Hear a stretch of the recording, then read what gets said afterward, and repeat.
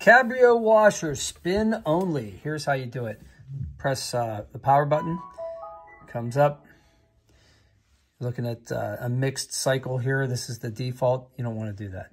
What you want to do is you want to go to uh, utility and tool, utility tools.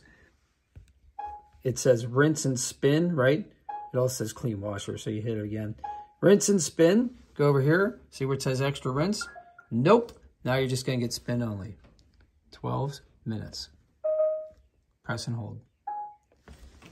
All right, now it's just going to spin. And the reason that I'm doing this is because I did a cycle with no spin and it didn't work out the way I wanted it to. So if this helped you at all, smash like and I'll see you on the next one. If you have any questions, put them in the comments below. And subscribing helps me a lot and I need the help right now. Just got let go of my job. Have a great day and I'll see you next time.